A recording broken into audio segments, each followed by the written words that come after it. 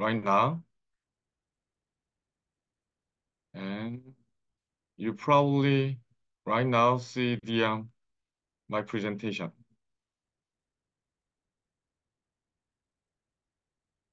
It's okay? Yeah, everything is ready? Yes. Okay. Okay.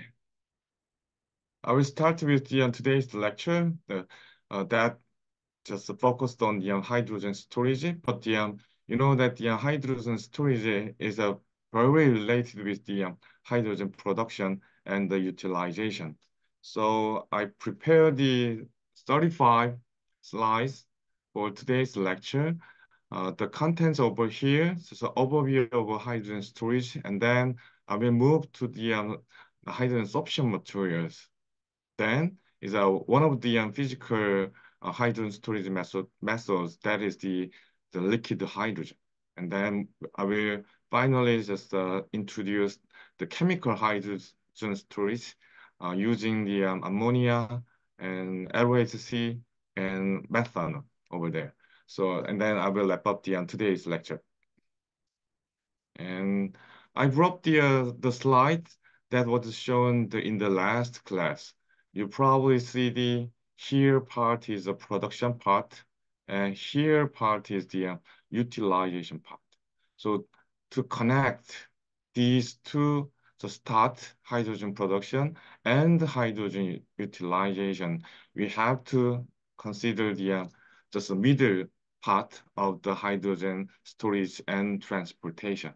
So right now, we have the too many uh, technologies for the this this approach. So first priority is the liquid hydrogen, and then probably ammonia and the LOHC. So that would be introduced today. So anyway, this part is very important. In case of the domestic case, we just use the um, just tube trailer.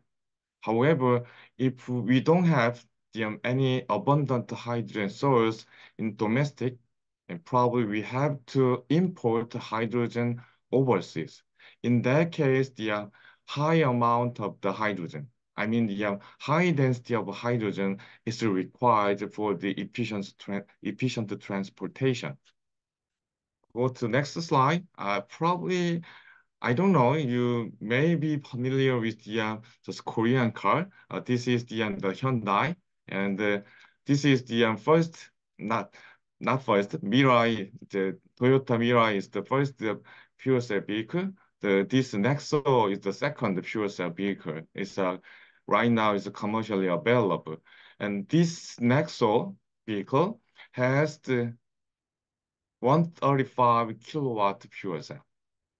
And then you can see motor, the stack, the DC converter, hydrogen tank over here, and the high voltage battery over here. Here you can see the hydrogen tank. That is the enlarged at the bottom over here. This vehicle has a three tanks. These two, two tanks, and this is the kind of the auxiliary tank to maintain the uh, hydrogen boosting. So all total amount of the hydrogen in, in mass is over here. 6.33 kilogram. So that means in two point, about 2.1 kilogram per tank is stored in this vehicle. And then I have to state one more thing. The tank pressure is a 700 bar over there. Okay, using the this kilometer, the mileage, 96.2 kilometer per kilogram hydrogen, then these Nexo vehicles will run about 600 kilometer per one hydrogen storage, single hydrogen storage.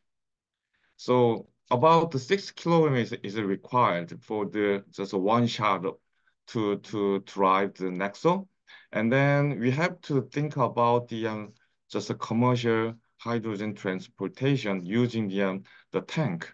So when a tube trailer transports hydrogen at a scale of uh, 330 kilogram per pass. That is the um, right now the usual uh, the hydrogen mass for the um, probably many nations. That means full charge is possible for the only 50 vehicles. So one tube trailer from the just hydrogen production site to the hydrogen demanding site, only 50 big, the only hydrogen amount for the 50 vehicles is transferred. That means that we have to get the more efficient hydrogen storage methods. So then you can see here, this is the um, just the, the first trial for the hydrogen storage. Compressed gas hydrogen, that is abbreviated CGH2, but the, this, the CGH2 has a very detrimental disadvantage, such as low volumetric density. So we have to see the, uh, this density chart with respect to the pressure over here. So 200 bar, about 15 kilogram per cubic meter, and 450 bar is to 28.3, and here 700 bar is 3, 39.1. That all the values I'm now stating, that is based on the um, 300 Kelvin, just ambient temperature over here. Just look at the this number. What about the liquid hydrogen? 71 gram per liter, that means 71 kilogram per cubic meter. What about the water? So 111 kilogram the hydrogen per cubic meter. So that means this compressed hydrogen gas, even using the 700 bar, is about the 40, here 71, the difference is about the 30, and this 111, that is water, about the just 80, uh, about the 70 difference. So that means the compressed hydrogen is not the good tool to deliver the hydrogen. So this is the just uh, just image for the, um, this, the advantage of the compressed hydrogen gas.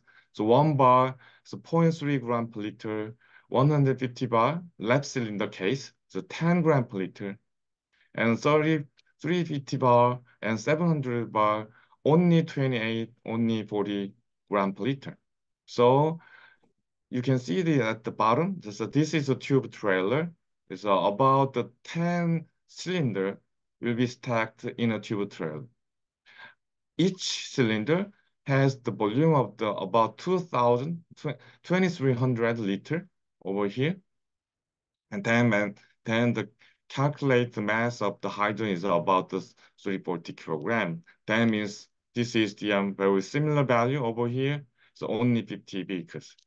These large just tube trailer will just transport only hydrogen of the for the 50 vehicles. And then this is is, is improved to the uh, another cylinder type over here that has the uh, 450 bar, and then this is the smaller. So each cylinder has the 427 liter, then the about the 40. Each cylinder will be stacked in in a in a tube trailer. That means the about 500 kilogram. That means not less than 100 vehicles will be charged if we use the, this type 4 the cylinder. And then move to the next slide. So, so this is the compressed gas I introduced. Then many people worldwide just want to move to the um, from the compressed gas from the another the storage technologies. First one is the liquid hydrogen. And right now, just BMW people are very interested in the, the cold or cryo compressed hydrogen, uh, hydrogen over here. And also, someone probably Lika uh, is familiar to the just, uh, material-based hydrogen storage. So MAP material or the liquid organic material or the hydride material, many different methodologies have been just uh, investigated so far in, in worldwide. So I will I will introduce the um, just the liquid hydrogen. I will uh, these two things um, firstly, and then Uh, we'll go, uh, first one is the absorption material. Yeah, absorption material and the liquid hydrogen and the other methodology. Okay, I already just introduced this reference over here, ACS Energy Letters, published in 2021. You can compare the uh, just the values, measures for the liquid hydrogen, methanol, MCH, methyl cyclohexane, and ammonia. So all the liquid type over here. So liquid hydrogen, here the density 71 kilogram per cubic meter. What about the methanol? What about the MCH? What about the ammonia? It's very huge, just about the 800 kilogram per cubic meter. Okay, but yeah, this is just pure hydrogen. But the, from the, these materials, we have to extract hydrogen from this material by chemical way. And then look at the just, uh, uh, gravimetric energy density over here, just megajoule per kilogram. So liquid hydrogen has the 120 megajoule per kilogram. However, methanol, MCH, and ammonia, all the uh, just these materials, the uh, is very less uh, gravimetric energy density. So that is also one of the big issue in this chemical hydrogen storage. And then I have to bring up the, the this diagram also. I mentioned earlier here, just liquid hydrogen over here and 700 bar compressed hydrogen over here. And, and probably in the last class, I introduced these things. What about the, um, so methanol, MCH, ammonia? So methanol over here, liquid ammonia over here, and MCH over here. Is uh, so probably you can see the answer in terms of the volumetric density, the methanol, ammonia a little better than the liquid hydrogen and even the compressed hydrogen. However, these are things have the um, lower gravimetric density. It's um, that is uh, less than the um, our uh, conventional fossil fuels. But anyway, probably it liquid hydrogen has a very uh, serious drawback for the transport uh, storage and transportation. So right now, many people's are just uh, many people's interest are shifted from the, the liquid hydrogen to the liquid ammonia or methanol or MCH over here. And then I have to introduce the, um, this diagram also. I have I have took taken this diagram from the here, the MIT Technology Review in Germany. That is the published the um, just about probably summer of the 2022. So you can see this compressed hydrogen and liquid hydrogen, ammonia, and LOHC.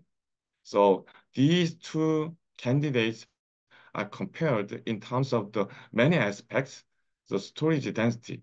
You can see over here, this arrow. So ammonia is the best. So 121 kilogram. Yeah, this is the best, just the uh, just gravimetric hydrogen storage density. What about long-term, long-term, long-distance cost over here?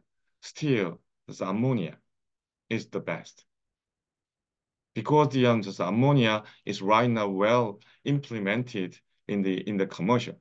So and what about the efficiency over here? So compressed hydrogen over here. But the other things is our is a, just putting together over here is about the 65 to 75 percent efficiency compared to the um, just uh, one just uh, ideal just efficiency so this difference is not is not significant. What about the self-discharge? Here, LOHC is number one compared to the uh, here liquid hydrogen over here. So some of the liquid hydrogen will be released during the transportation. So that is the, the problem of the liquid hydrogen. And over here, security ammonia is the worst over here. So the compressed hydrogen, this one is uh, is okay because the um, high pressure chamber is uh, much secured. What, however, if the um, this ammonia is uh, leaked in the atmosphere, some of the um, damage in the environment and also in the human being will occur. What about the purity, hydrogen purity? So look at here, compressed hydrogen is the best compared to the just ammonia. Ammonia probably very little amount in the level of the ppm of the ammonia will remain in the, the hydrogen stream. Those very small amount of ammonia will attack the um, many infrastructures. So that is the um, burden, well, one of the burdens for the uh, ammonia transportation. What about the technology readiness level, TRL? So ammonia is a commercially available ammonia has the very high TRL. But the, right now, everything is moving to the just technical TRL 7 to 8 right now. Okay. So based on the, this diagram, you probably just ask yourselves, what is the best one? Which one I have to select for the um, my nation, my country, what is the best technology? Probably if the ammonia is much, much available in Indonesia, you probably think about the um, just transportation and storage technique for the ammonia.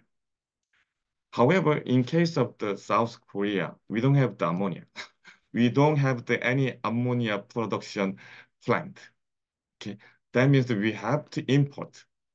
Also, what about the um, hydrogen, compressed hydrogen, liquid hydrogen. For the compressed hydrogen, we are now using just the uh, byproduct hydrogen from the steel plant and the refinery plant. So, so that means the um, compressed hydrogen is right now is well established in South Korea. However, LH2, liquid hydrogen, in that case, we need very, very high purity of hydrogen. So we don't have it. That means we need to import. So LHC, we have the LHC material in just uh, produced from the refinery industry, but you know, the, uh, this material is, is not cheap, it's expensive. So we have to consider many aspects of the uh, just hydrogen storage me methods. So right now, this year, I think I cannot pick up the who is the king for the hydrogen storage. However, probably five years later, probably one of the methods I introduced today will be just as chosen for the um, just a commercial hydrogen transportation and storage. Okay, this is the final, the final slide for the introduction part. Here, one of the example this is a marine transportation for the uh, Japan case. Here, So just brown coal that is available in Australia. And then just a one just refinery company from the Japan making this uh, gasification plant using the brown coal. And then gas will be refined over here and then will be just transported it to the, the port, the marine port, and then that port is a hydrogen liquefied, and then that liquefied hydrogen will be landed. And then right now you can see there about 9,000 kilometers. Just the liquid hydrogen will be transported in the sea. And then final destination is, uh, you can see over here, Kobe Airport Island over here. Then that liquefied hydrogen transferred from the Australia will be released at the hydrogen demanding sites. And this is the just project of the HYSTRA, the Hydrogen Energy Supply Chain Technology Research Association. And you can see over there, in this project, uh, many companies are participating. One of the companies is Yang Kawasaki Heavy Industries. He, this company has a very good knowledge and technique to make manufacture the, uh, these just a marine vehicle, just a shipping. So this Suiso Frontier over here, you can see tank capacity. Yes, here you can see this is the tank over there. Tank capacity is there 1,250 cubic meter. So that is the uh, about uh, 88,000 kilogram per one shipping will be transferred from Australia to Japan. So compared to the digit I introduced before, here 340 and about 500 kilometer is the just about 150 times higher uh, compared to the just the uh, domestic just land just tube trailer. So this technique, this uh, shipping method is very very required if the um, one of the nation has the no just a hydrogen infrastructure and also enough the hydrogen production plant. So we have to think about this kind of the overseas transportation. And then I'm now moving to hydrogen sorption. To, for, for discussion, discussing the hydrogen sorption, I have to introduce first the two um, methods, such as the physisorption and chemisorption.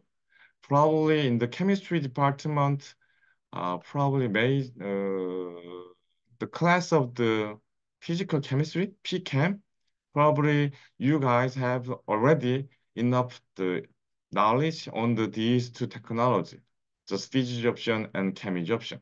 So physisorption is the uh, just typical of multi-layer absorption. So we will use the uh, BET isotherm, Brownian amityl isosome.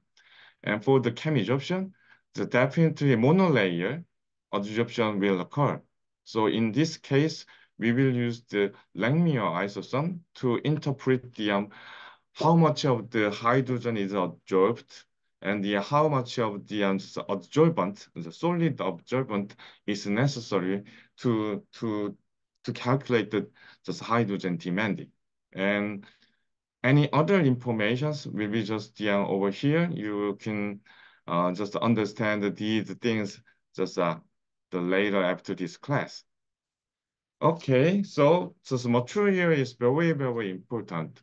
If the chemical chemisorption is strong, that means um, many just, uh, just our hydrogen molecules will be observed on monolayer of the at the surface of the solid. However, if we wanna just release the hydrogen from the that surface, it is necessary to use the um, high energy for the breaking down the chemisorption bond. What about the physisorption? Physisorption is good compared to the chemisorption in terms of the hydrogen release. However, this physisorption, the molecule interaction is very low. So that means um, we cannot get the um, high amount of the hydrogen solved at the surface uh, material surface. And many people probably in about in 2000s. Uh, here, many people just investigated what kind of the material is required for the hydrogen storage. And look at here. So this is the diameter over here, the cylinder diameter, just all the pore diameter over here. And this, this is a slit diameter here. And after the calculation about these two methods, the slit pore is better than the nanotube. Yeah. After this publication, the carbon nanotube, CNT, is the um, just uh, abundant in the um, hydrogen storage. Oh, just on the contrary, the CNT right now is a, has been using for the uh, just a cylinder material. And then this is the uh, interlayer distance in the pore. So in case of the 7 14, and 20 angstroms of a pore, you can see over here, 7 angstrom is much better than the larger pores. And other mathematical calculation, the theoretical calculation, show that they are about the 6 angstrom to 7.5 angstrom. Those the pore diameter is very accessible for the uh, hydrogen storage, high hydrogen storage capacity. So using the this the concept, this information, many people just investigated the storage material. First one is the first one I have to introduce is the the nanoporous carbon. And then you probably see the um, so this is the room temperature over here, the 77 Kelvin over here. So as you may know well, yes, a low temperature is much better than the room temperature for the uh, hydrogen storage. So very less at RT, very high at 77 Kelvin. But you know that yeah, to get the 77 Kelvin, we need to very, very good mechanical equipment to get the answer 77 Kelvin. Okay. And see the here, there's amorphous CNT over here. And this is one of the material, porous material, CMK3 over here. And pure single carbon nanotube over here. And porous carbon over here. And activated carbon over here. So activated carbon is, is very commercially available. So this commercially available activated carbon has enough the hydrogen storage capacity compared to the, uh, the CNT and very artificial just carbon, porous carbon material. That means the, um, many people just investigated activated carbon for hydrogen storage. But right now, it's, uh, it's not the good tool. It, it's not considered to be a good tool for the hydrogen storage. And you can see this is a graphene oxide, the GO uh, this material is also tried, was also tried for the hydrogen storage, but uh, you can see over here, 77 Kelvin is 1.28% using the chill, 7 bar over here. So here, this is 77 Kelvin, and then activated carbon is about 48% storage. So this, the Another type of the carbon, the graphene oxide, is not the optimal for the hydrogen storage. Then many people move to the um, just zeolite material because zeolite is well known to be microporous and crystalline aluminosilicate. That zeolite has been used um, uh, has been used as a catalyst for the refining industry. So zeolite A zeolite XY, zeolite low. Those, those the um, zeolite are, were, were tried for the hydrogen storage at the 77 Kelvin over here. But you can see over here, just compared to the carbon materials, just the empty diamond over here. Compare the carbon materials, zeolite has a just low amount of the less than 280% at the 77 Kelvin and 100 bar. So many things, just what about the trying just the, um, the high surface area zeolite. Probably if we can use the high surface area, area material, can we get the um, just the higher hydrogen uh, absorption? So you can see over here about the 300, 31 100 square meter per gram and 2200 square meter per gram over there using the zeolite zeolite-like carbon material. So this material uh, was synthesized using the just uh, zeolite as a template, and then put the carbon materials and the pyrolyze. Then final material is the uh, zeolite, the template carbon. This material showed the um, very high hydrogen uptake at the 770 Kelvin and even low pressure of 20 bar.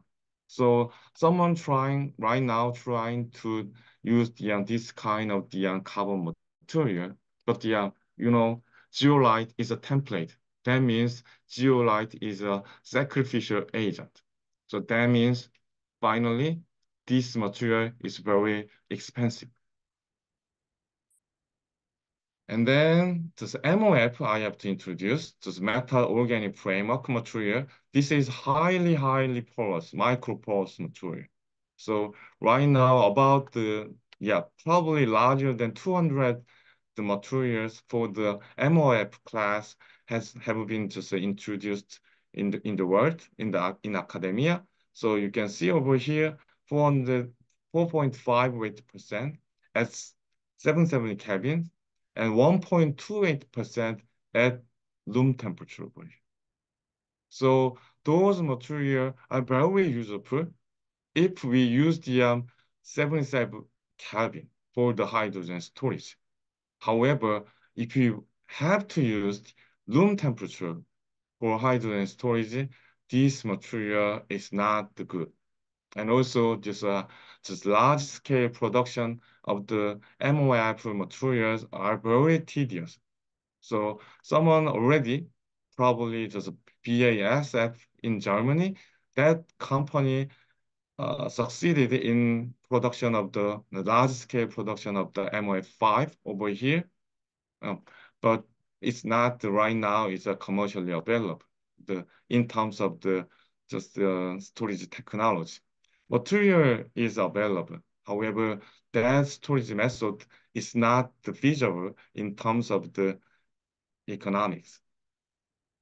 And then other class is the, which is the COF, covalent bonded organic framework. You can see over here, so all the materials are comprised of the um, these uh, uh, monomer unit here.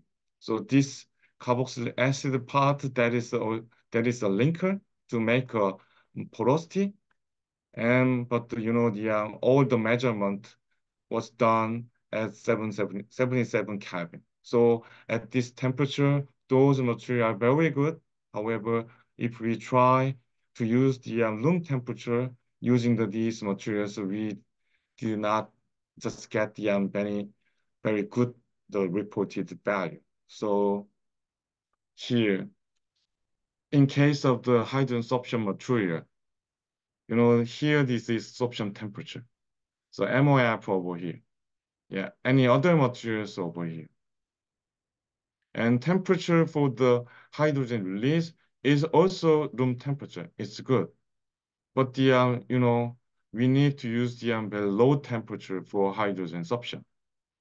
So US DOE just uh, was pursuing just uh, what about the other technology like chemical hydride and the metal hydride? You know, you can see the uh, high temperature is required for the hydrogen release, but uh, you can see it's very high hydrogen capacity is, is possible. So probably 2000 to 2010 about, those in those periods, many people investigated just a sorption material.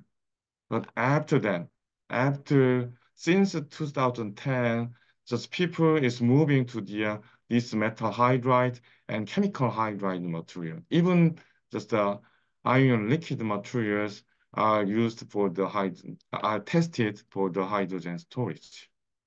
But I think the um, right now the just the present situation uh, is not the op optimal. Yeah, yeah. It's a, for the hydrogen sorption material has a very serious drawback if to get the um, higher just a hydrogen storage capacity.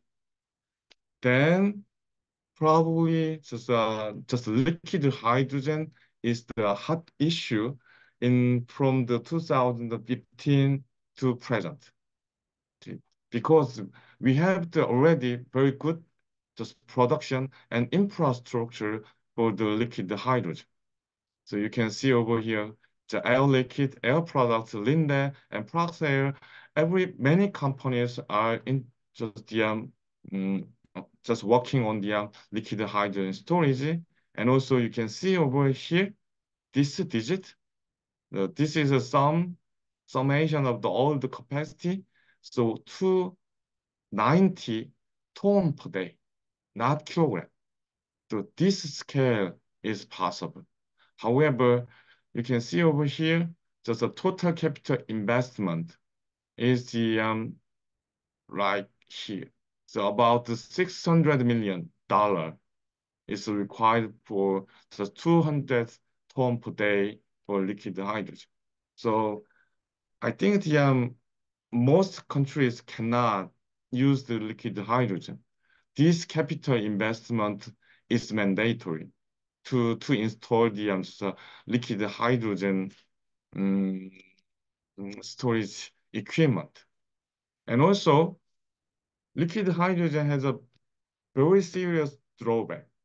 Here, 350 bar and 700 bar, and this is the liquid hydrogen over here. And this is the actual, and this is theory. So you can compare the um, actual and theory, the values in terms of the energy consumed for compression or cooling hydrogen over here. So 300 bar, the actual, the theory, though the difference between the, these two things are not sig significant. However, you can see over here, liquid hydrogen. This is the um, theory. It's about the 10% just uh, of the hydrogen just uh, energy will be consumed for the liquefaction. However, this is the um, actual value. So what is meaning? So about 20 to 40% of energy of hydrogen will be just gone in the liquefaction. So that means the about 60 to 80% of hydrogen energy is available if we have if we use the hydrogen liquefaction, just a liquid hydrogen technology. So in terms of the thermodynamic aspects, liquid hydrogen is not considered to be feasible. So then someone just uh, argued that probably other hydrogen might be better than the liquid hydrogen. That is here, just cryo-compressed hydrogen. This part is the uh, compressed gas hydrogen, and this part liquid hydrogen. And this is the uh, cryo-compressed hydrogen. So x-axis is the temperature, and y-axis density. So all the just curves based on the just pressure. So 150, 250 to the um, 700 bar over here. You can just compare the um, density. What about here? 208 Kelvin and 700 bar. The density, hydrogen density is 40 kilogram per liter over here. However, if we use the, this point, just cryo-compressed the hydrogen at 300 bar at 38, 38 Kelvin will show us the um, 80 gram per liter. It's a double up compared to the um, compressed hydrogen. What about the liquid hydrogen? Just this is the just a pure liquid hydrogen. It's a usually just a liquid hydrogen one bar over here, but the less than three, 33 Kelvin. So here, the cryo compressed hydrogen is also better than the just liquid hydrogen over here. So this was found by the um, just BMW people. So BMW people uh, just uh, pursued to get the um, liquid hydrogen. During the that experiment, probably the compressed hydrogen will show us the uh, much higher density of hydrogen for the just a storage tank. Then this one, this is the cryo compressed tank over here. This is the uh, one of the just liquid hydrogen, the subcooled liquid, sub subcooled liquid over here. Uh, it's a very different temperature and pressure. So subcooled liquid, look at the temperature over here, about 228 Kelvin, and uh, one six, uh, 16 bar over here. That give, will give us the uh, 62 kilogram per cubic meter for the hydrogen density. However, cryo-compressed one is a much higher pressure, 350 to 400 bar, but temper temperature is higher than subcooled liquid. Even the higher temperature is used, the hydrogen density is, is equal to 72 kilogram per cubic meter. So this bar chart shows us the very clear picture.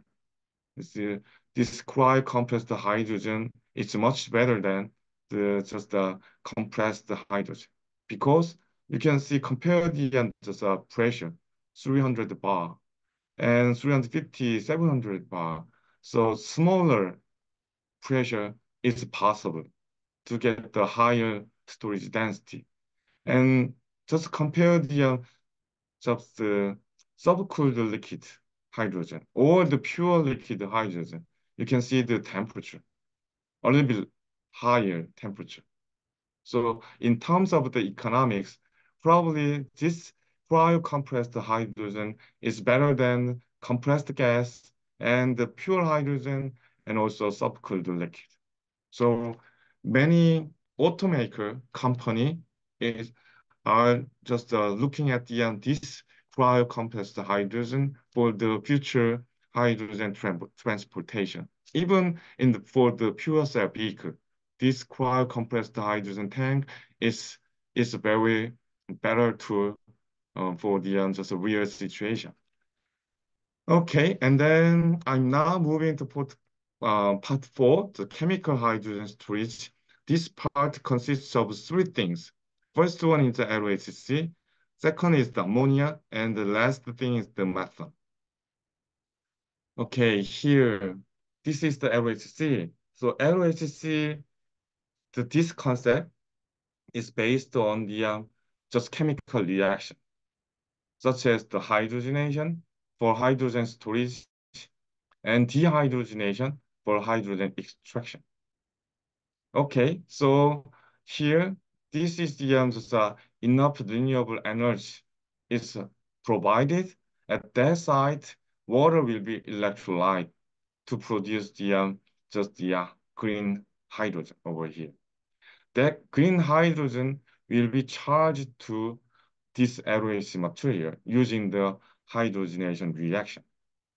Okay. Then the hydrogen-rich material will be stored and transported and distributed. At the hydrogen demanding site, LOHC will be just decomposed to release the hydrogen via hydrogenation reaction. So after this reaction, just, uh, just the hydrogen, just release the hydrogen will be charged into the our speakers, and then remaining material is hydrogen material. That hydrogen material will be stored and transported into the hydrogen the supplying sites that give will give the um, very cheap hydrogen. And this is the um, just a cycle. So hydrogenation, dehydrogenation, those reactions are mandatory for working on the um, LOHC materials. And then this is the um, slide showing the um, so what kind of the LOHC have been introduced so far. The first one is the um, this one, the toluene. Probably every people knows about the toluene. Toluene will be hydrogenated methylcyclohexane. And this methylcyclohexane will be dehydrogenated back to toluene. So these two reactions will take place for the LOHC concept. This concept was introduced Chiyoda Corporation in Japan, and this has the um, about the 6.1 weight percent of a hydrogen gravimetric hydrogen density. If I remember correctly, this concept was introduced about 2002 or 2003. So 20 years passed, and then right now, Chiyoda is with the, um, uh, along with the um, other many other just uh, industries, uh, is right now just transporting hydrogen from the Brunei to the Japan. And then Air Products. This is the liquid hydrogen company. And the Areva in France, that is the nuclear company. These two companies were collaborated to use the, um, this LOHC material. So this is N-ethyl carbazole. This is the hydrogen-rich N-ethyl carbazole. So we call the, um, this material NEC. So, and also this is the second generation. Why these, did these peoples just um, focused on the this material rather than this toluene MCH pair? Because the dihydrogen reaction is the um, endothermic reaction in the thermodynamics. That means the um, high temperature is necessary, required for the complete conversion. So if nitrogen, this heteroatom is incorporated into the molecular structure, the temperature for the dehydration reaction can be lowered. In case of the methylcyclohexane dehydrogenation, we need the, about 350 degrees C for the full conversion. However, in case of the NEC, uh, if I remember correctly, about 240 to 250 degrees C is enough for the full conversion of the hydrogen rich to hydrogen molecule. However, this material has a serious problem. After the hydrogenation, this material is not the liquid phase at ambient temperature. At ambient temperature, this one is a solid. Just uh, after heating the, this material up to 70 degrees C, this material is transformed into the liquid phase. So that means the um, additional energy is required to just melt down the um, solid NEC to liquid form. And also, you can see over here, ethyl group is linked to the nitrogen atom. At about 200 degrees C, this ethyl group was cracked, thermally cracked. So that means this material is not thermally stable. So about 2011, in those periods, this material was abandoned.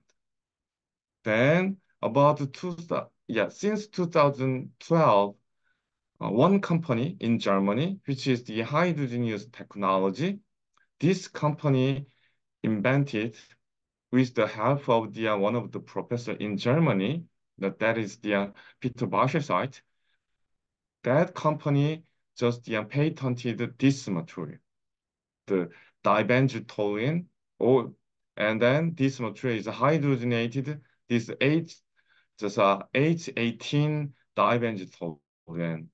This material is commercially available because we are now using the this material for the uh, just heat exchanger.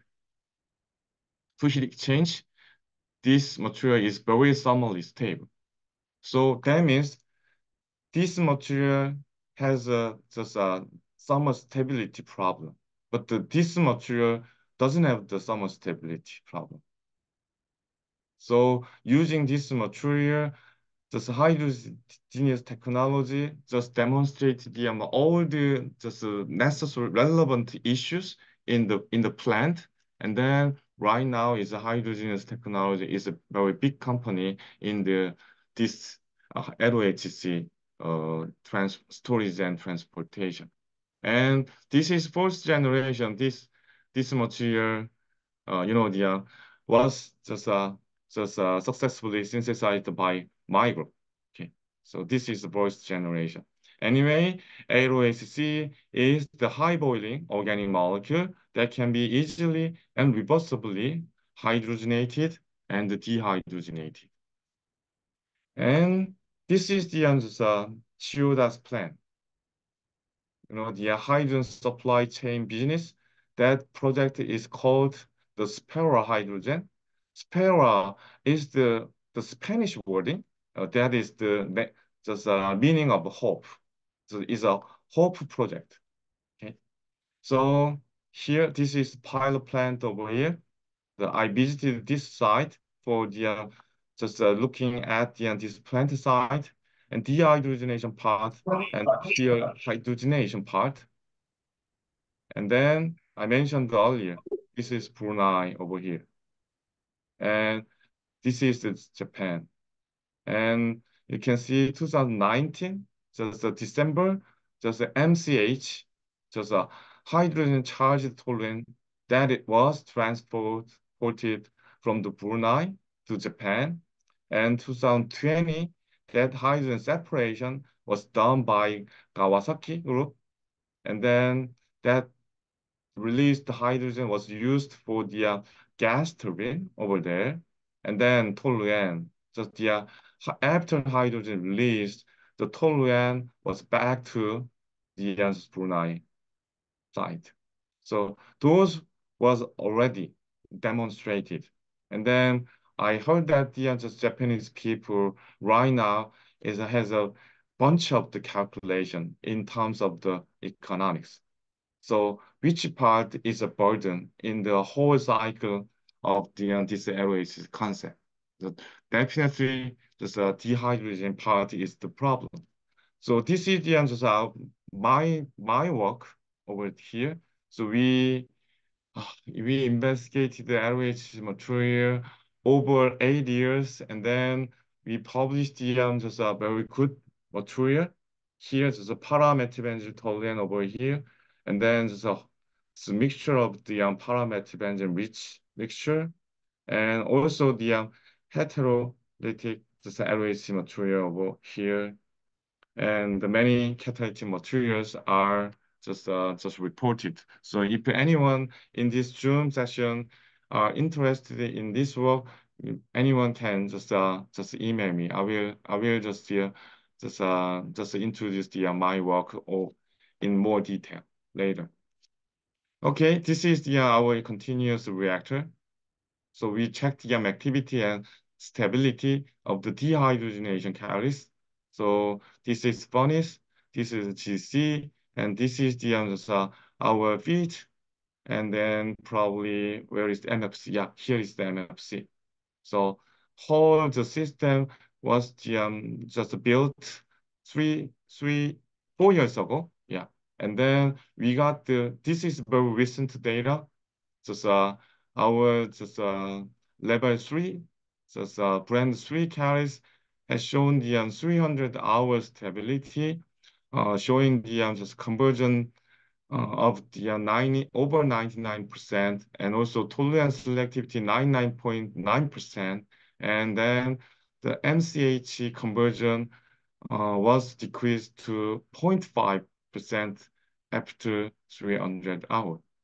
Anyway, for the LHCC, you know, the material and DR using catalyst and reactor, those parts very, very important. So if anyone interested in the LHS concept, you have to pick up, select um, which part you wanna you wanna attack. So material or just the dehydrogenation catalyst or the reactor. So I recommend probably dehydrogenation is necessary not only for DM LHC, but also for um, many kind of the chemical reactions. So catalytic materials are also useful for other chemical reactions. So probably, I think um, you can, if you participate in the LHC concept, so your catalytic material and your catalytic system will be extended to other systems. And this is the uh, just the last slide of the LHC part. So right now, so many people wanna just uh, reduce the um, cost of the LHC material and also get the sustainability. So here, the light cycle, um, light cycle oil, LCO, and PFO, the pyrolysis fuel oil, those two fuels are the byproduct in the refinery industry. So these are very cheap. So, and also very aromatic rich.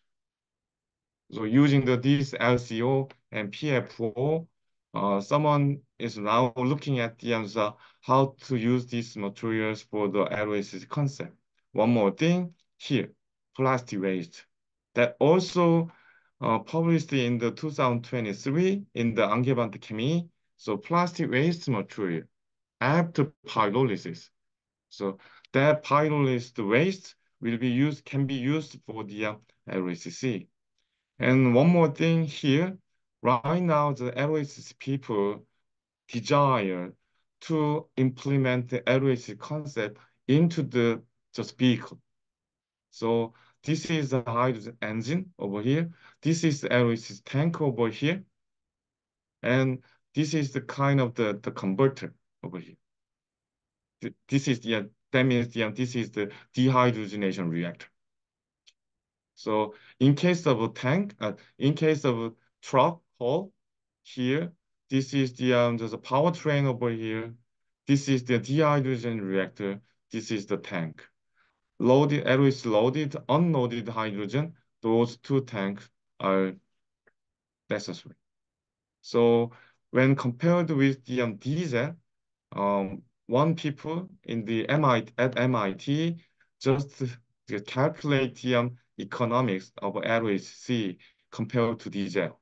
And then CO2 emission is will be reduced by about the 71% using the, this concept for the just implementation of real just a hydrogen vehicle. And then I'm now moving to the ammonia. But yeah, I think I introduced a little bit information about ammonia in the last class. So Haber-Bosch process using the hydrogen and nitrogen, the ammonia will be produced. And then ammonia has the two different applications. First one is the direct use. Yeah, ammonia can be used directly for the uh, just direct combustion engine and also fuel cell or furnace right here. In the other application, the ammonia will be cracked into the hydrogen. That hydrogen is just supplied to the uh, fuel cell vehicle that is already just uh, available, and also power generation, and also fuel cells, any other applic any other applications. So ammonia can be used itself and also the hydrogen bomb. So many people thought that yeah, ammonia is much better than the just pure hydrogen because the uh, ammonia itself is also fuel for the other uh, applications. And also, you know that the ammonia is right now is being used as a fertilizer in many countries. So this is um, this ammonia is right now very cheap right now, and also has a very good infrastructure for the transportation is available so the maritime vehicles and also the trailer over here. So many kind of transportation are very easy. However, we have to think about the ammonia synthesis because the uh, Haber-Bosch process, let me, yeah, Haber-Bosch process is very, very ridiculous because, you know, here about 450, 400 to 550 degrees C, and then you look at the, the pressure, 300, 400 bar system pressure. These conditions is usual for the high pressure Haber-Bosch process, which has the answer so TRL9. But you know, the, this is not the good economics. So someone just pushing the people to get the more efficient Haber-Bosch process using the observant enhancing method. So look at the, the system pressure. These pressures is significantly decreased to the 10 to 30 bar and also a little bit lower temperature. So right now the Haber-Bosch process is a is a right now just a pursuing to to get the um, more much reduced the energy consumption to get the good uh, economics. And look at the, this one here, conventional Haber-Bosch process, energy consumption, just kilowatts, kilowatt hour per kilogram ammonia. So here, if we have the um, just larger ammonia capacity, the energy consumption will be lower, getting lower here. But this is the uh, thermodynamic minimum energy consumption over here.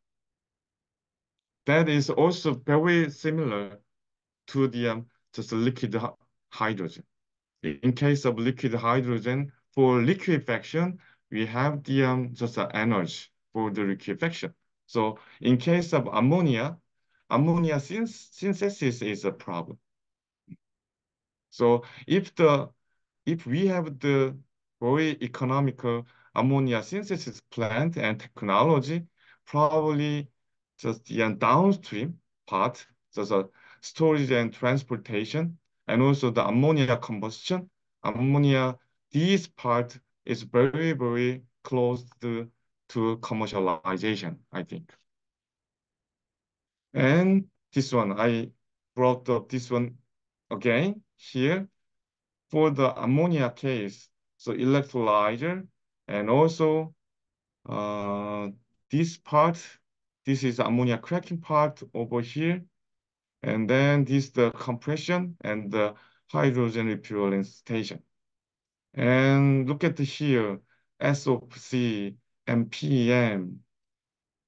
And in this uh, article, the authors mentioned it has a limited role as a hydrogen carrier due to the large energy requirement for cracking and compressing at the customer end.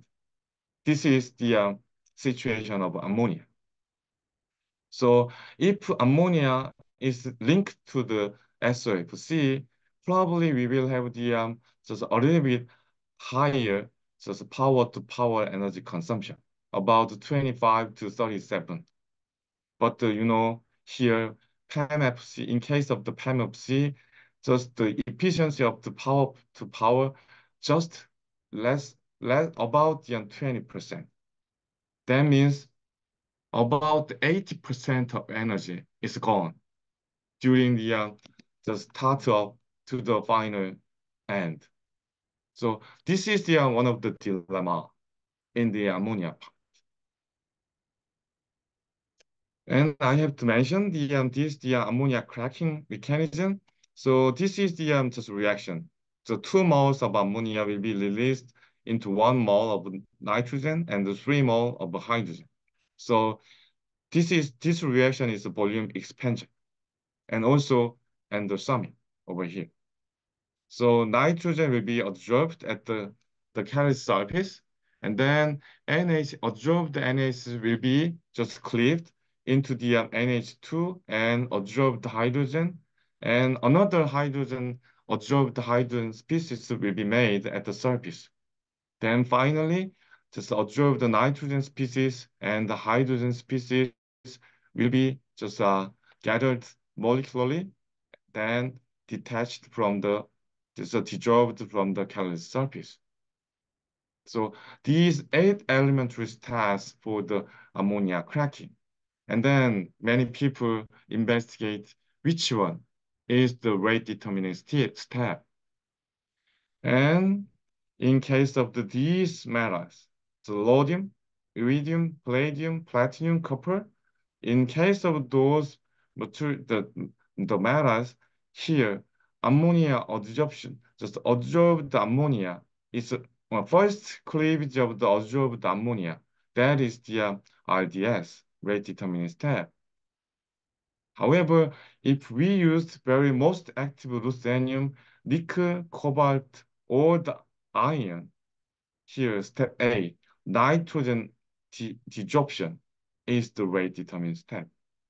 So how to get the um, just a just uh, active no how to get the this nitrogen desorption very actively. So that depends on the what kind of character material is used. So then I just summarized you know, all the um, just, uh, uh, reports for the ammonia cracking. I do not, I will not introduce the many everything in this slide, but uh, you can see many approach for the catalyst development development is what is has been pursuing right now. Okay, so alumina based one, silica based one, carbon support, MgO, alkali metal doping, the layers oxide supported, perovskite, many, many material, keratin materials are used for the ammonia cracking. But important thing is the uh, just high dispersion of active matter, just well dispersing the active matter is, is of prime importance.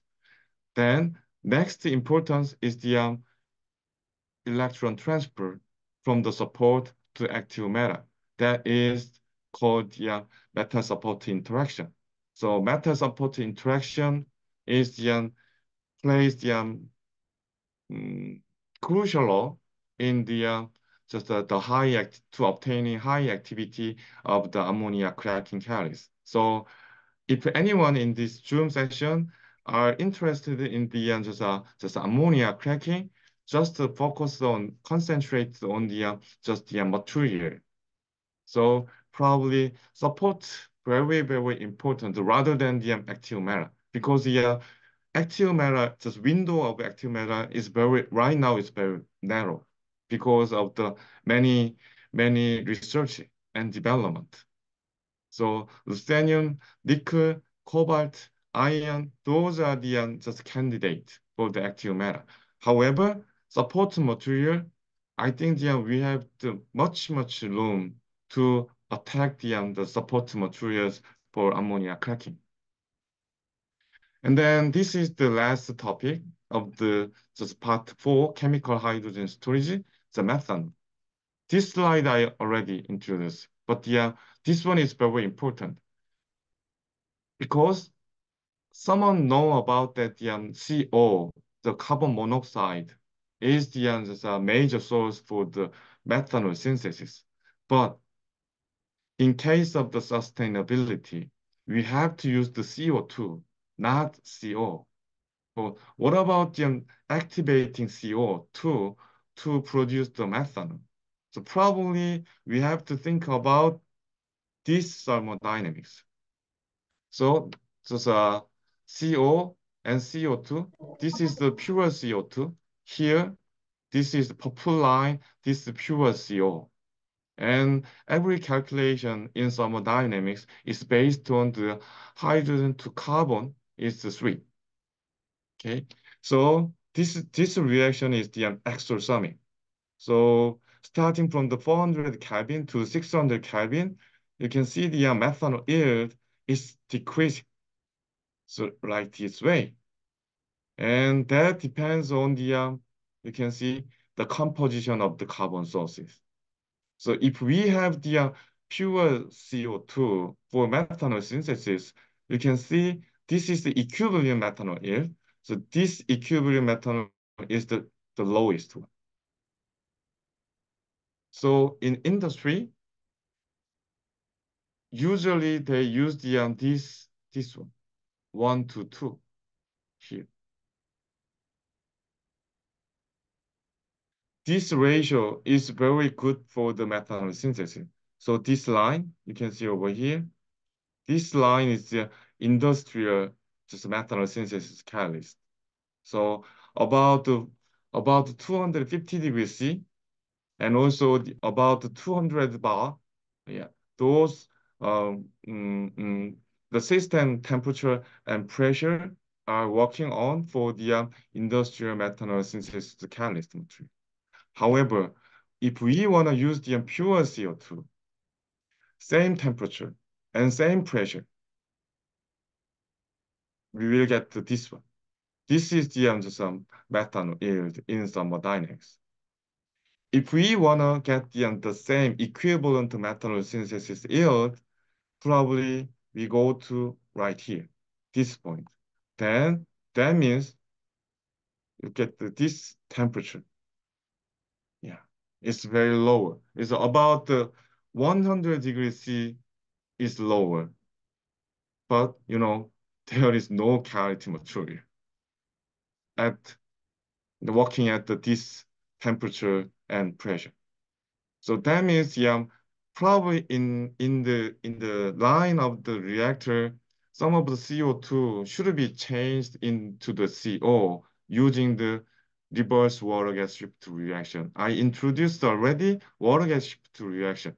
So CO and water just a change to the CO2 and hydrogen, right?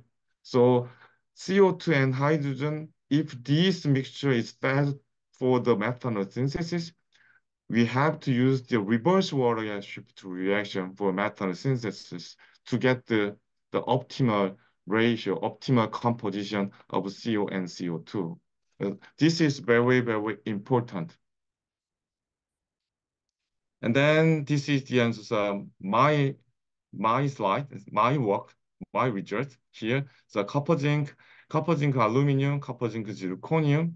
Yeah, those are were investigated in, in my lab. And then high surface area, so zinc oxide SMSI, and defect and steps, those concept properties are very, very cr uh, critical for the methanol synthesis activity. And however, if we put the um, four component, copper, zinc, aluminum, zirconium, the bulk methanol TOF, that is the productivity, that productivity is very the same, very similar. So I think the um, in case of methanol synthesis, catalyst is ready. But the, you know, this one, can we use the um, C, pure CO2 for methanol synthesis? That is the big issue in methanol synthesis. And then this is the final slide for the methanol part. I'm bringing up the um, just, uh, one of the slides from the DNV for the uh, International Maritime Organization, which is the IMO. IMO just um, published um, one brochure, one just um, uh, their report for the um, maritime forecast to 2050 energy transition outlook. This is the IMO ambitions, and this is decarbonization by 2050. Last year, IMO decided to, focus on the, this one, not the IMO ambition. So, so full decarbonization by 2050. And you can see the, the 12 scenarios over here. Four bio, four electro, four fossil and blue part over here. And then I compare the all the digit in all the every scenario for the this the decarbonization by 2050, then probably bio is necessary. Here, bio MGO, MGO is the marine grade oil, bio MGO, bio LNG, bio bioethanol. You can see the green bars over here and over here. So there is a, I think the enough sufficient room to to use the biofuels in the maritime vehicles. And also here, this is the blue part, the electro fuels, the electro marine grade oil, electro LNG, electro ammonia, electro methanol. Those are e-fuels. So e-fuels over here even if you even if the EPUS is used for the these scenario 17 to 20, so very low electro and low electro cases, but you can see still the option of the biofuels in these scenarios. So they concluded for the um, maritime because probably we have to mix up the necessary fuels in about 2015. So biofuel has a, a little bit higher fractions of the energy necessary, and also the e-fuels also good option. And then this is the final slide of today's lecture. So you can see this physical to chemical transition. So compressed hydrogen, liquid hydrogen, those are the physical methodology for the hydrogen um, storage and transport. Right now, many companies are focusing on the just, uh, the storage tank. So what kind of materials are very stable for the high pressure system? And I introduced this one, the ammonia and LOHC also.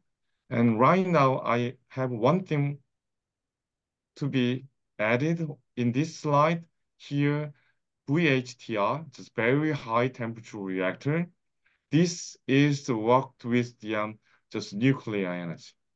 In case of the South Korea, we have the a little bit just uh, just uh, nuclear energy to be used for the hydrogen production.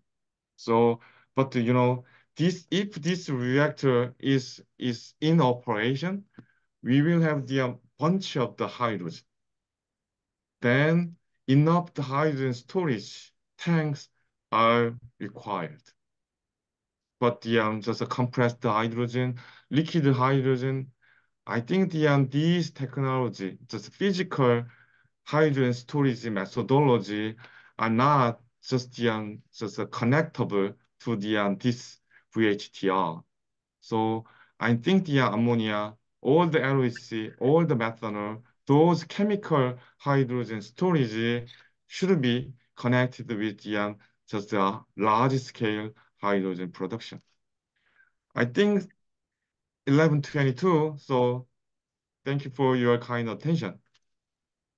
Thank you, Professor Suh, for uh, the nice lecture.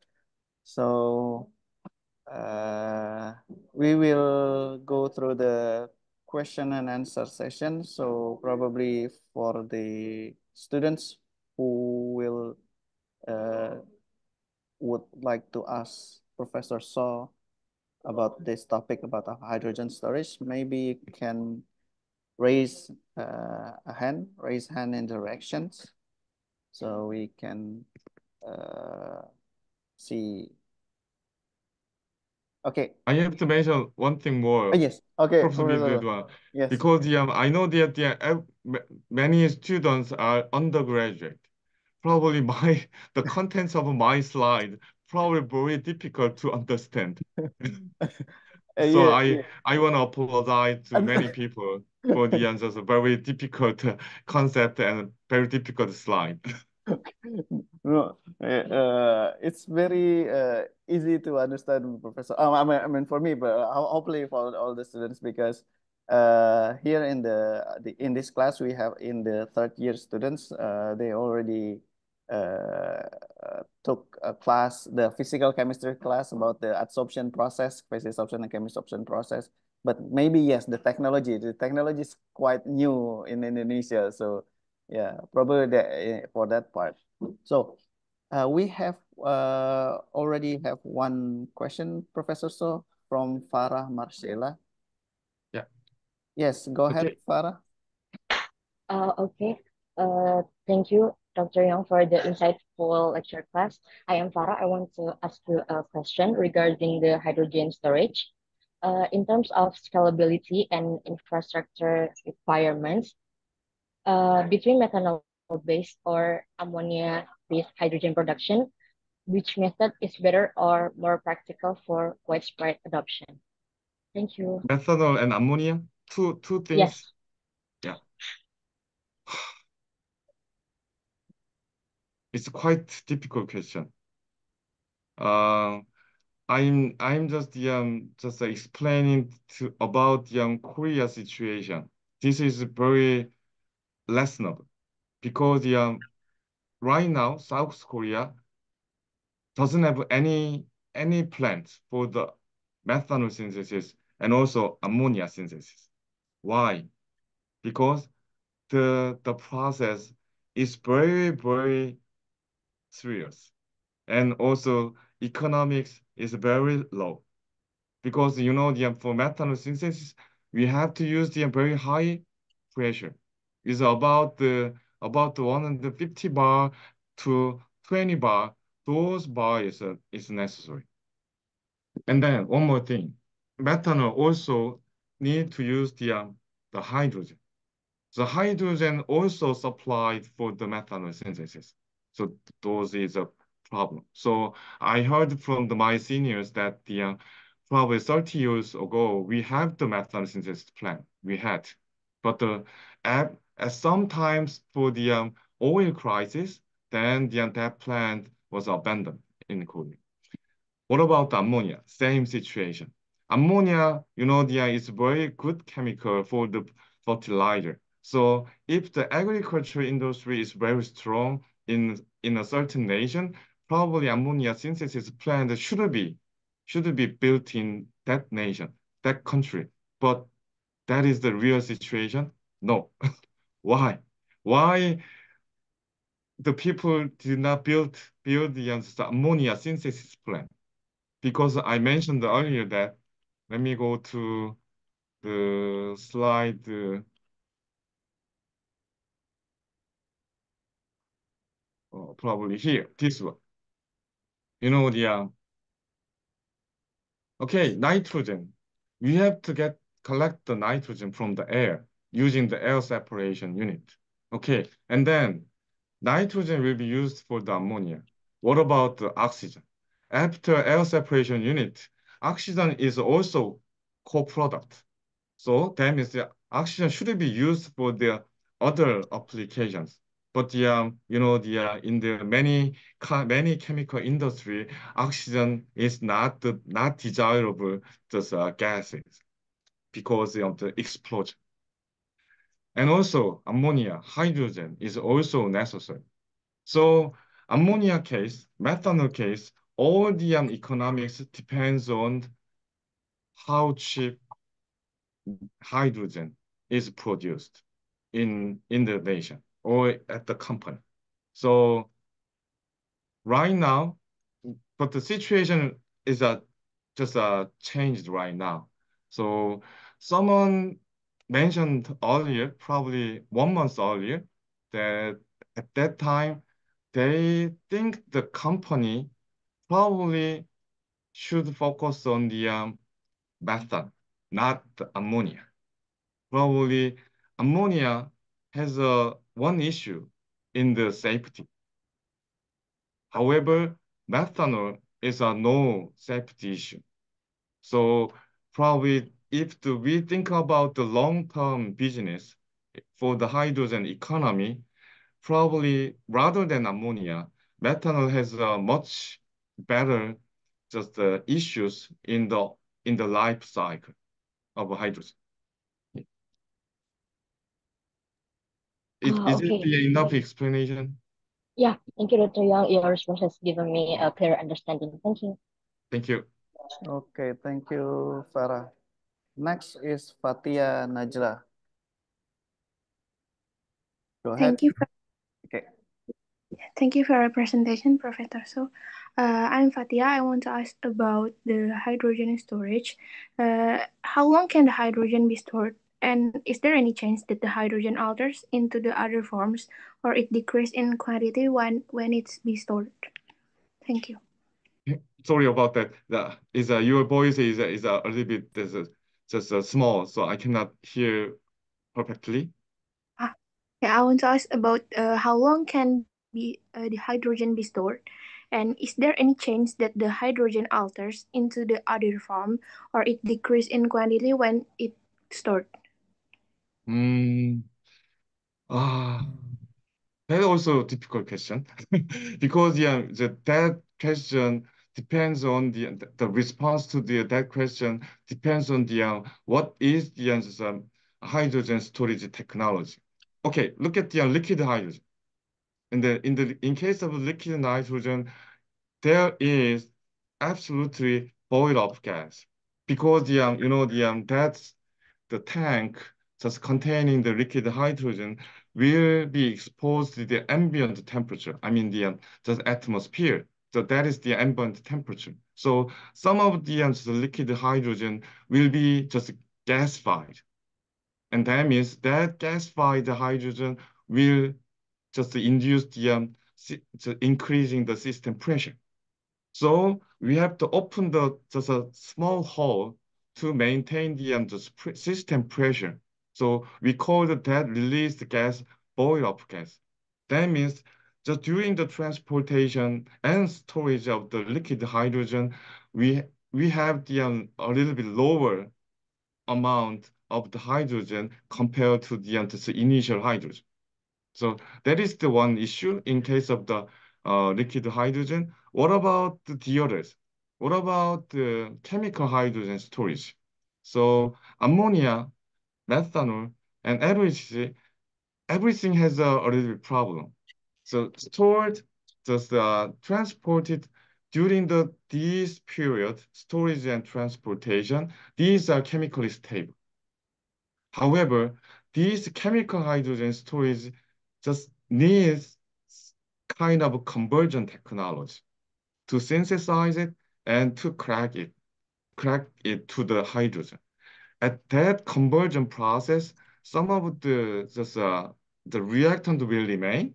I mean, they are unconverted, or some molecules will be cracked to other chemicals. That is also loss. So during the storage and transportation, chemical hydrogen storage rather than the liquid hydrogen is, is good. But the, in the conversion process, these are the also problem. So that means, so still the, some people are just uh, insisting that the probably compressed hydrogen is the best one. Liquefied hydrogen and chemical hydrogen storage definitely has uh, some issues in the conversion process and storage and transportation period. So probably, yeah, you know, the compressed hydrogen, just to, just to put the hydrogen in the system at as, as full as possible, right? So that is the, just the most simple technology to use pure hydrogen. Is it enough? Yes, it's enough, Professor. Thank you for your answer. Okay, thank you, Fatia, for the question. So we have two more uh, students who would like to ask, but maybe we just limited to one, Professor Suh, because the time is... Yeah. so uh, maybe uh, Vanes One, would more, like... one more question. I can, Yes. I can take it, yeah. Yes, Vanes, maybe. Okay, thank you for the presentation, Professor. Uh, I want to ask, as we know that there is a various catalyst used for hydrogen production, especially through catalytic uh, processes, uh, and it is often requires extensive extensive research to find suitable catalysts for real-world application, right? Uh, I just curious, is there any way to make this process more efficient with minimal effort? Uh, maybe you can share experience in your country. Thank For, you. for what, what, what reaction? Like make the process of research about catalyst used for hydrogen production more efficient. Yeah, Oh. yeah. Hydrogen production. So which, which reaction? Just like steam methane reforming or Uh, uh, because like you know the the catalyst depends on the uh, what kind of reaction is employed. Yeah. Yeah, maybe about uh, methanol steam reforming. Methane, methane steam reforming, Methanol. methanol steam reforming. Methanol. Ah, yeah, methanol, not methane. Yeah, in case of methanol steam reforming, you know the uh, we have to use the uh, in from in literature from literature just the uh, most active metal in that reaction is the PT, platinum. So if we just use less amounts of the PT, yeah, that is the just only way to pursue the um, this, uh, this methanol steam methanol steam reforming catalyst. So probably how can we just reduce the amount of PT for that reaction? I mentioned today we have to use the um, uh, metal support interaction to get the higher activity using the small amounts of the noble metals. Yeah, that is the way, just one of the way, yeah, for this catalyst development. is it enough? Uh, okay, thank you Oh, for the answer. okay. Thank you, Professor Suh. Thank you, Vanes, for the question and Professor Suh for the answer. Actually, I also wanted to ask something, but maybe next time, Professor Suh, regarding the LOHC, something like that. So because uh, nowadays our our research topics is about the methanol steam reforming and also for the hydrogen hydrazine dehydrogenation process. So I would like to uh, know about the LOHC, but maybe because the time is almost Yeah. up for you, maybe you have next schedule for the class. So before we wrap up the this class, Professor, so we have uh, Dr. Asep here as a head of department, Professor. So uh, maybe uh, Professor Young. Where, where is it? Uh, yeah. Nice to meet you. I can Nice to meet you.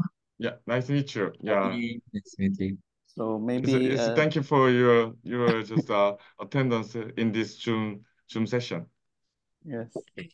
My, my Pro, uh, uh, Dr. Asep probably will have like a uh, the uh, uh, how can I say gratitude uh, uh give like a gratitude uh from the department uh side uh because uh you already uh give your valuable time in your busy tight schedule so maybe I would like to give Dr. Asep to have like a kind of uh closing uh, uh speech go ahead Okay. Dr. Asep Terima kasih Pak Ridwan. Uh, very pleasant good morning to each and every one of you. Thank you for still being with us today and also uh, last week. Uh, so on behalf of the Department of Chemistry, our student, our chemistry college, I would like to express my gratitude and sincere appreciation to our guest lecturer, uh, Professor Suh Young Woong from Department of Chemical Engineering, Hanyang uh, University, who uh, has uh, presented a very interesting topic and very relevant and also very urgent uh, in the context of uh, climate change and clean energy entitled hydrogen energy and hydrogen uh, storage.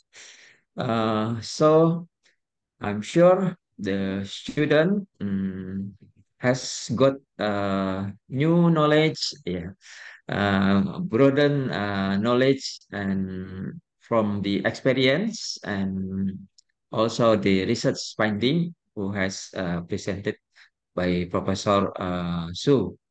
Uh, hopefully, after this, we still have opportunity if we would like to strengthen our collaboration with you, Professor, and your colleague from Hanyang University uh, in terms of uh, research collaboration as well as uh, academic uh, collaboration in the future.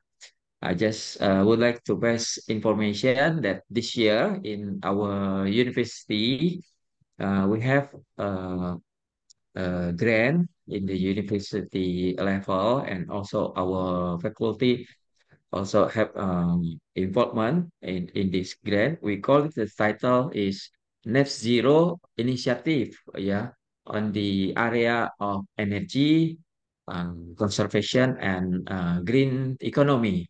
So this morning, uh, I just passed the information of this guest lecture about uh, you, Professor Su Hyung Woo from Hanyang University. I said that uh, if our, our uh, Center of Net Zero Initiative would like to invite Professor uh, Suh Hyung uh, Woo uh, for uh, the topic of hydrogen energy and hydrogen storage, yeah, um, uh, they will uh, contact you. Okay, uh, once again, uh, thank you uh, very much for sharing your wisdom, experience, and knowledge uh, to all of us. Thank you very much, Professor. Yeah, thank you. Thank you for your kind remark and also the uh, explain the answer what program is going on over there. Yeah, I think the uh, I'm I'm sure that the um, I'm very open to everybody in this Zoom session uh, for the answers uh, future collaboration. So uh, you know the answer the, all the materials introduced in the last week and also today are just my research topics. I'm not now working on it. So that the um, if you have any any kind of the um, uh, any collaborative work for the um your your part, and also if we I have the um some of the um just a grant for the um just a collaborate internationally collaborate work, I can I'm very open to discussion with you. Thank you for your attendance, your explanation. Yeah. Thank you very much. Thank you, Dr. Asep, and thank you, Professor Suh, for the time. So maybe before we wrap again the class, uh, we uh, hope hopefully you all still in this Zoom, uh, students. So uh, we have st still have 32 students. So in this case, uh, we we photo session. Ah yes, photo session, uh, Dr. Asep. So uh, the students, please uh, open your video, and we will have like a photo session the last photo session. So let's uh, please open your video camera. Uh, video, uh, yeah, please open your camera so we can take a picture. Okay. So wait a minute. Wait, wait. Uh, yes. But sorry we I need to adjust the because in my in my slide is only like three of us. there are no mahasiswa pada ke mana? wait wait. Okay. Ah. Okay. Ayo mahasiswa tampilkan wajahnya.